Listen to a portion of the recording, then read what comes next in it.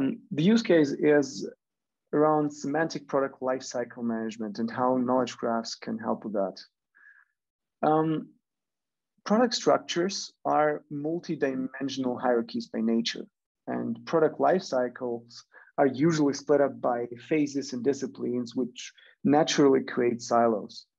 So this demo is going to show you how, how we integrate data throughout the product lifecycle, providing transparency over the so-called product DNA, reducing time to market, enhancing configuration management, enabling design to line workflows, and much more. This is obviously uh, an extract of, of all these use cases, but um, I think it will give you a pretty good idea on how PLM with knowledge graphs can work. All right, so let's start with the demo. Um, Anzo is uh, basically guiding you through the whole workflow of creating something like knowledge graph for PLM. Um, we have these four stages. Um, onboarding stage where you get all your data sources. Um, the modeling is where you create your canonical model and the target ontology to map your data into. Um, the blending layer, which is the heart of the of Anzo, where you basically where you basically connect all your data and map it to the target ontology, and then the access um, part where you build um, low low code framework based um, applications or dashboards uh, on top of the knowledge graph.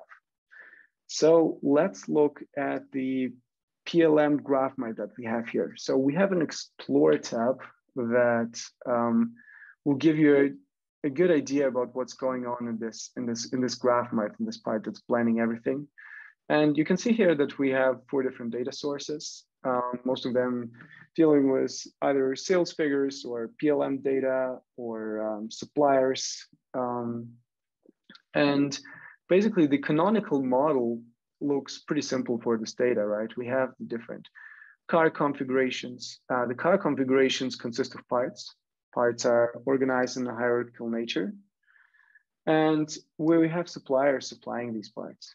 And you can see here that directly while, while we're traversing through this ontology um, that is built with, with the Anzo ontology editor, um, we can see here the, the data profiles and um, also the, the, attributes that are that are there in the tables, which is a good indicator to get to get just a grasp, grasp of your data, of your sources and what's going on there. Um, we're gonna go to the data layers that are actually there to a load the data, right, from all the different sources, in this case, like SAP and Teamcenter.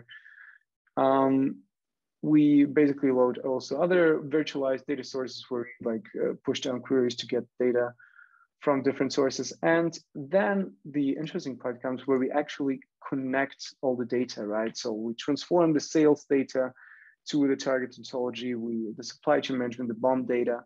Um, and if we look at this, these are basically queries that take the source data and map it to the target ontology. For example, saying that in this table, we have suppliers that belong to the class supplier and define some of the attributes.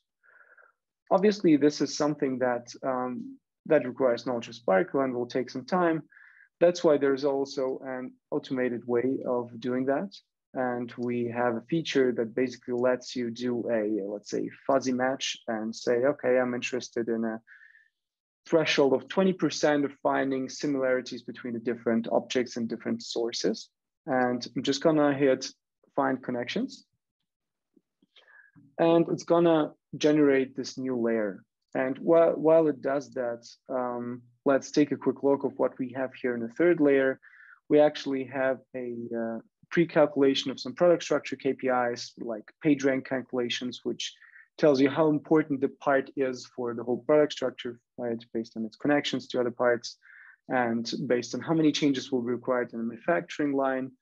Um, so um, something else that we're doing is the, is the uh, is implementing all these graph algorithms and making them making them very easy to use within SPARQL. Um, so now this fuzzy match layer is generated and you can see here that it has three different suggestions for matches, some of them um, higher than others.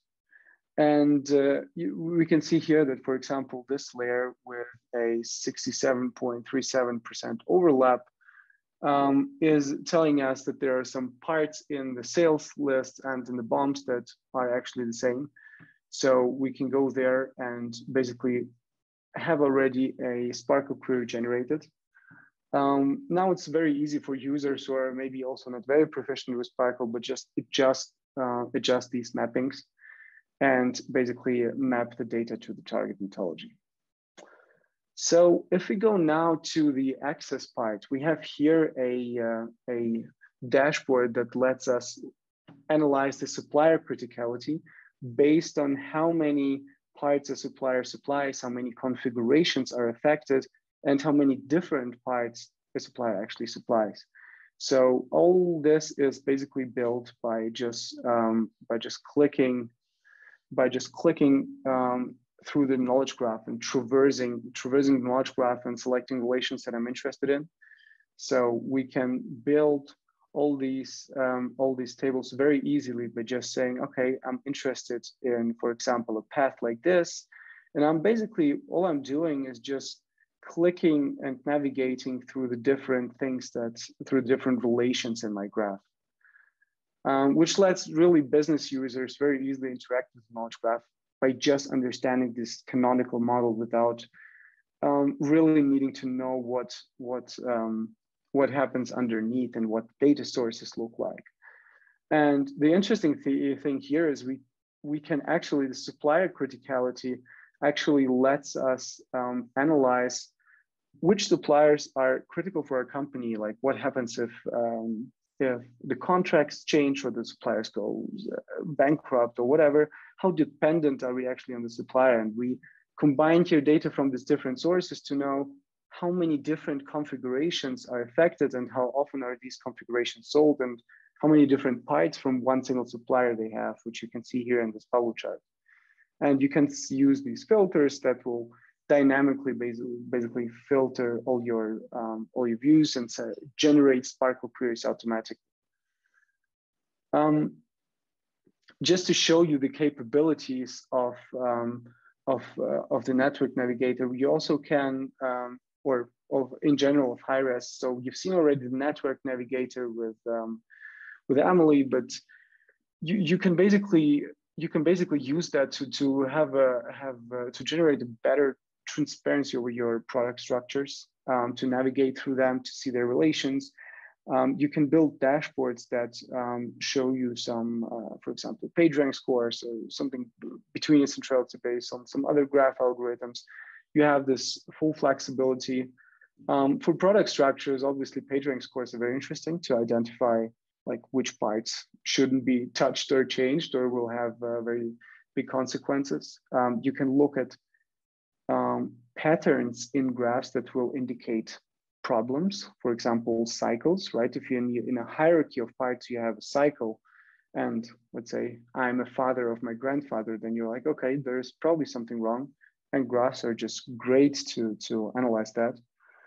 Um, and you, you can generate views that will automatically calculate layers uh, or ca calculate levels um, and so on. So th this really makes it very easy for you to create dashboards from with knowledge from all these different sources and let you let you really um, let you really get get good transparency transparency over your product structures and make uh, really better decisions. All right, that's it from me. Um, knowledge graphs around PLM